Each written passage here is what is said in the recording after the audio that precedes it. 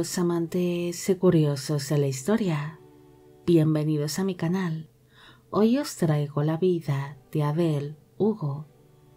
Ella fue conocida por ser la hija pequeña del escritor francés Victor Hugo y por sufrir de serios problemas mentales, destacándose la gran obsesión amorosa que sintió hacia un oficial británico. Esta biografía es realizada por petición de Arancha Ortiz Rodera, María Lourdes Martínez y Mr. Mann.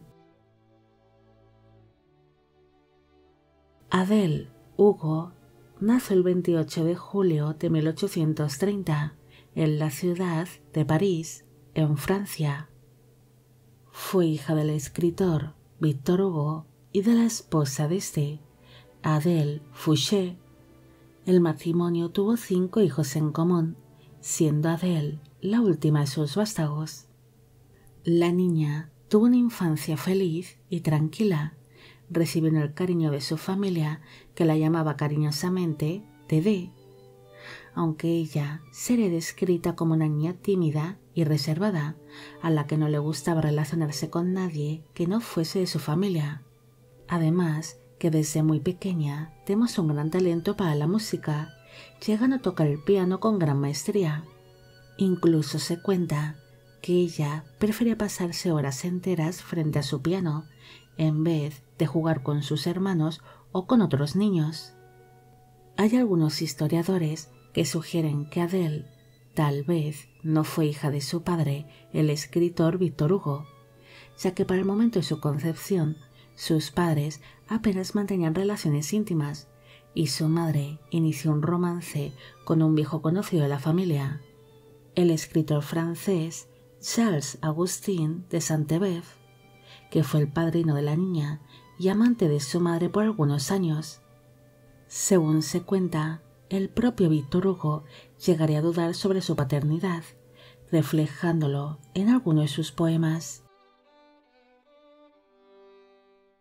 La infancia tranquila de Adele se vería afectada cuando en el año 1843 su hermana Leopoldine murió ahogada junto a su marido tras volcarse la barca en la que se encontraba el matrimonio navegando por el río Sena, falleciendo su hermana con tan solo 19 años de edad y mientras se encontraba embarazada de unos tres meses de gestación además de que hacía tan solo unos pocos meses que se había casado con su marido, siendo esta trágica muerte muy dolorosa para la familia Hugo. Adele tenía tan solo 13 años de edad cuando se enteró la terrible noticia de la muerte de su hermana, siendo algo que le afectaría muchísimo y que dejaría una gran mella en su interior.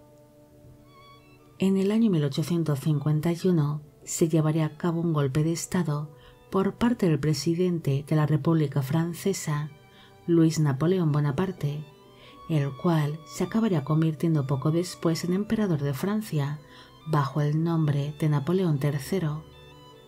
Este golpe de Estado supuso que el escritor Víctor Hugo tuviese que abandonar Francia por asuntos políticos y por estar enemistado con Luis Napoleón, así que acabaría exiliándose primero en la ciudad de Bruselas y posteriormente en la isla de Jersey, en el Canal de la Mancha.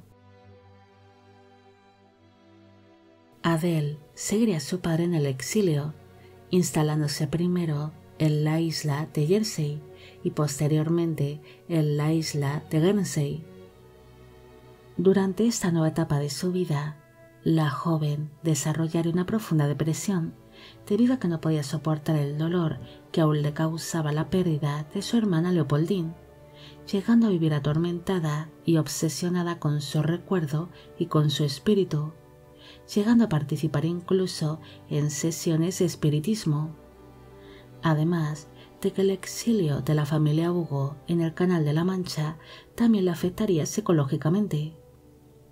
Dede no tardaría mucho en mostrar cierto desequilibrio mental y su salud empezó a verse afectada, sufriendo de estados febriles, delirios, problemas estomacales, crisis nerviosas y ansiedad, teniendo que viajar en varias ocasiones a Francia para recibir atención médica.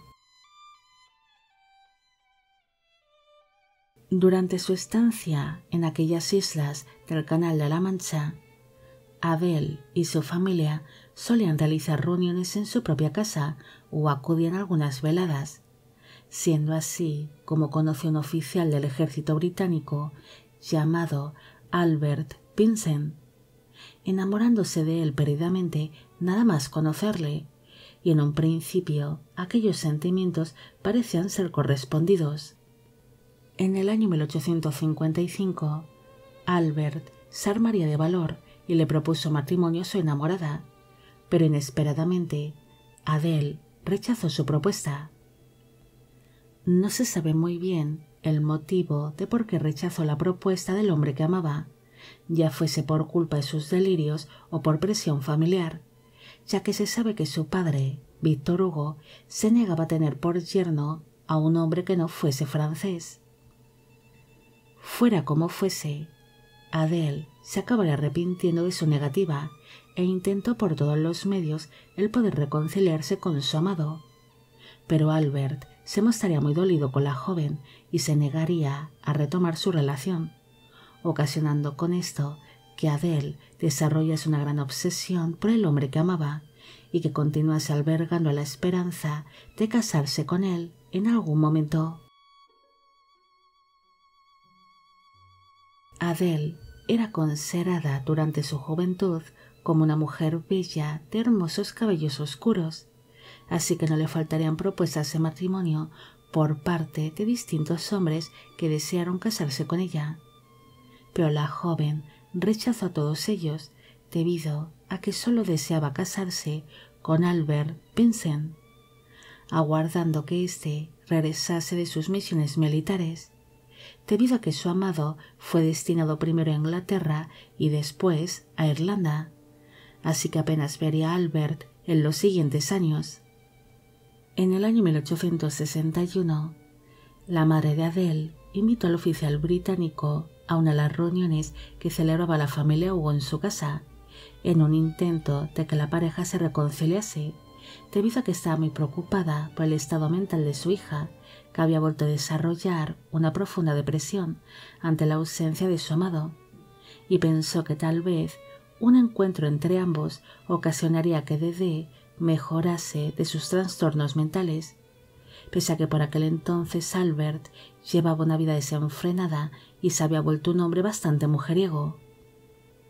El encuentro de la pareja no salió como se esperaba, y Adele se volvería a obsesionar de una manera muy preocupante con el oficial británico. En el verano de 1863, Dede aprovecharía una de las ausencias de su madre para escaparse con el dinero que había logrado ahorrar y se embarcó hacia la ciudad canadiense de Halifax, donde su amado se encontraba destinado. El hecho de que Adele se escapase y se embarcase sola hacia Canadá ocasionó que sus padres se mostrasen muy preocupados, aunque lograron intercambiar algunas cartas con ella y pudieron rastrear dónde se encontraba, además de que le enviaban dinero mensualmente con la intención de que estuviese bien atendida y se pudiese costear un viaje de regreso. Adele pudo costearse su estancia en distintas casas de huéspedes y perseguiría a Albert allá donde éste fuese. Incluso se presentaba por sorpresa en su cuartel, siendo esta una situación un tanto violenta para él. Es más, en una ocasión el oficial llegaría a mostrarse muy enfadado con Dede y la empujaría en público mientras la gritaba que se marchase. Adele no se daría por vencida y llegó a entregar dinero a Albert en un intento de reconciliación. Incluso contrató los servicios de un hipnotizador para que lo obligase a casarse con ella. Adele llegaría a sufrir de serios trastornos mentales durante su estancia en Canadá Incluso le enviaría algunas cartas a sus padres donde aseguraba que se había casado con su amado Albert y que eran un matrimonio muy feliz, algo que era completamente mentira. Según fueron pasando los meses, Dede se empezaría a dar cuenta de la situación en la que vivía y reconoció a sus padres por carta de que se había inventado lo de su casamiento. Aún así, pese a sus mentiras, su padre seguiría apoyándola y enviándola dinero mensualmente, aunque también le pediría en contadas ocasiones de que regresase junto a sus progenitores, debido a que su madre se encontraba muy mal de salud, la cual acabaría falleciendo en el año 1868 a causa de un derrame cerebral. Adele se sumió en una profunda depresión tras la muerte de su madre y dejó de intercambiar cartas con sus familiares. Además, la pérdida de su progenitora causó que volviese a obsesionarse de nuevo con Albert y se embarcó hacia las islas Barbados sin notificárselo a nadie, lugar donde se encontraba destinado su amado. Durante su estancia en las Barbados, Adele seguiría persiguiendo a Albert y se hacía llamar Madame Vincent, asegurando a todos que era la esposa del oficial británico. Pero Albert acabaría abandonando las Barbados en el año 1869 y Adele permaneció allí completamente sola. Dede pronto empezaría a sufrir de problemas económicos al no recibir el dinero que le hacía llegar su padre mensualmente y empezó a vivir en la calle.